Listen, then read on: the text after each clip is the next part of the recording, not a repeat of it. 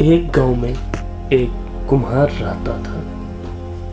वो मिट्टी के बर्तन और खिलौने बनाया करता था और उसे शहर जाकर बेचा करता था।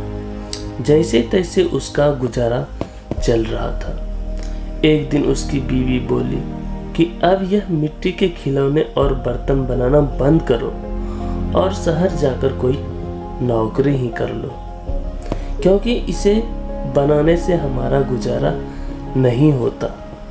काम करोगे तो महीने के अंत में कुछ धन तो आएगा। कुम्हार को भी अब ऐसा ही लगने लगा था। पर उसको मिट्टी के खिलौने बनाने का बहुत शौक था, लेकिन वह हालात से मजबूर था और वह शहर जाकर नौकरी करने लगा।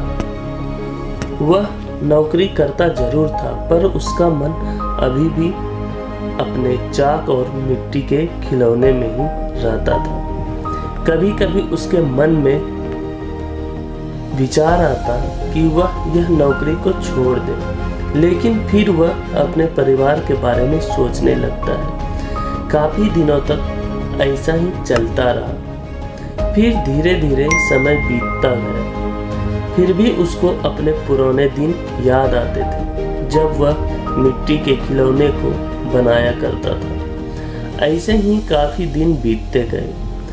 एक दिन शहर में जहाँ वह काम करता था, उस मालिक के घर पर उसके बच्चे का जन्मदिन था।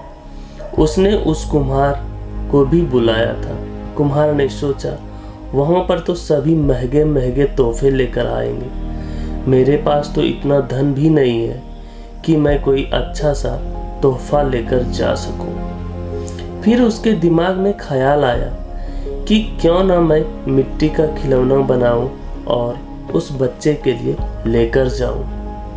वैसे भी हम गरीबों का तोहफा कौन देखता है यह सोचकर वह मिट्टी का खिलौना ले गया वहाँ जाकर उसने खाना खाया और थोड़ी देर बाद सभी लोग उस बच्चे का तोहफा देखने लगे।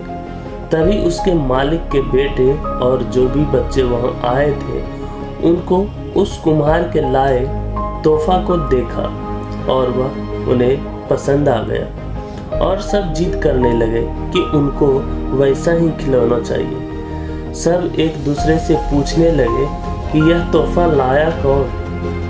तब किसी ने कहा कि यह तोहफा आपका नौकर लाया है। सब हैरान पर बच्चों के जीत के लिए मालिक ने उस कुम्हार को बुलाया और पूछा कि तुम यह खिलौना कहाँ से लेकर आए हो? इतना महँगा तोहफा तुम कैसे लाए? कुम्हार बोला, मालिक, यह कोई महँगा तोहफा नहीं है। यह मैंने खुद बनाया है। गाँव में यही बनाकर मैं गुजारा करता था। लेकिन उससे घर नहीं चलता था। इसलिए आपके यहाँ नौकरी करने आया हूँ। मालिक सुनकर हैरान हो गया और बोला, कि तुम यह खिलौने और बना सकते हो? तुम मेरे लिए और भी खिलौना बनाओ।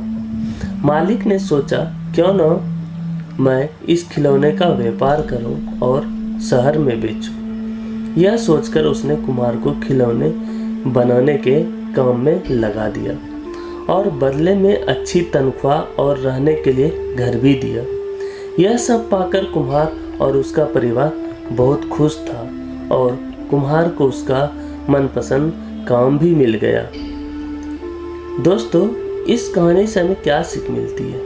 इस कहानी से हमें सीख मिलती है, अगर अपने पास हुनर हो तो इंसान कभी भी किसी भी परिस्थिति में उस हुनर से अपना जीवन सुखी से बिता सकता है और अपना इस दुनिया में नाम कमा सकता है।